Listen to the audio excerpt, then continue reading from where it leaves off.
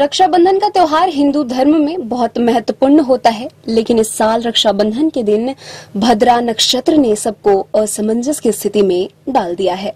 इस साल भद्रा लगने की वजह से रक्षाबंधन का त्योहार दो दिन मनाया जा रहा है। रक्षाबंधन के लिए 30 और 31 अगस्त का मुहूर्त है। कई विद्वान के अनुसार 30 अगस्त की रात्रि नौ बज के एक मिनट के बाद राखी बाँध सकते हैं। साथ ही 31 अगस्त को सुबह सात बजकर सात मिनट के पहले राखी बाँध सकते हैं।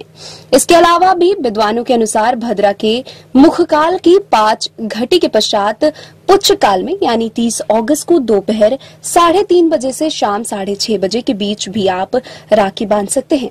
कई लोगों के मन में यह भी भ्रम पैदा हो रहा है कि आखिर क्या राखी रात को बांधना शुभ होता है या नहीं। आइए जानते हैं इसको लेकर क्या मान्यताएँ हैं।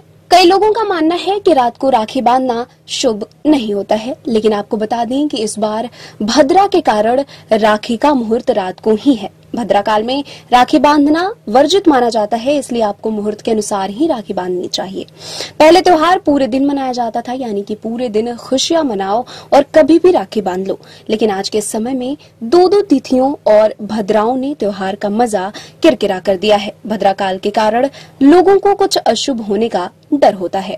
परंपरा और शास्त्रों के अनुसार रक्षाबंधन का त्योहार श्रावण माह की पूर्णिमा के दिन मनाया जाता है।